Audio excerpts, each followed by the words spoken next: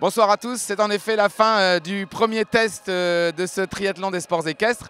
Euh, deux jours de dressage qui nous ont livré un véritable scénario inattendu puisque le leader pour l'instant au provisoire, eh bien c'est le japonais Oiwa. C'est pas vraiment une surprise puisque en 2006 il avait remporté un des trois tests, mais cette fois c'était à cette époque c'était le, cross, c'est-à-dire que demain on attend évidemment tout de lui, surtout évidemment le continent asiatique. Avec moi toujours nos deux champions, Jean-Luc Force et puis l'amateur euh, maintenant qu'on a compris est très amoureux de, ce sport, c'est Nicolas Canteloup. Bonsoir Nicolas. Bonsoir, bonsoir à tous. On a vécu vraiment deux jours de dressage assez exceptionnels. D'habitude, on s'ennuie un petit peu dans le premier test. Là, c'était, on a l'impression d'avoir rendu les médailles ce soir presque.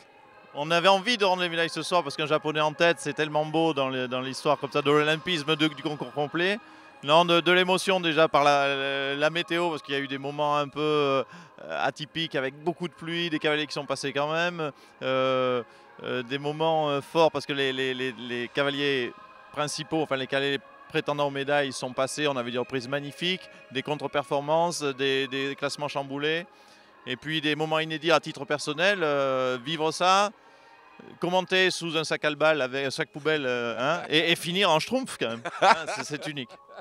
C'est vrai que c'était très chouette. Et puis, vous l'avez dit, Nicolas, des contre-performances, notamment celle du champion du monde Michael Young avec Sam, qu'on attendait évidemment comme euh, au moins sur le, podium ou, peut-être même leader et qui se retrouve dans le top 10 SWAT, mais quand même pas très très bien classé. En revanche, rien n'est joué puisque demain c'est le cross et a priori ça devrait euh, hein, être un peu bousculé tout cela en tant que je trouve technique, je peux vous donner des informations sur les crosses de demain. Oui, je pense que tout peut, tout peut encore jouer.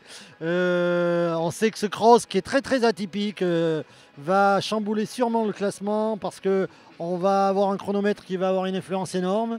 Un cross qui n'est pas très difficile a priori techniquement tel qu'on on peut le reconnaître, mais qui peut réserver des surprises.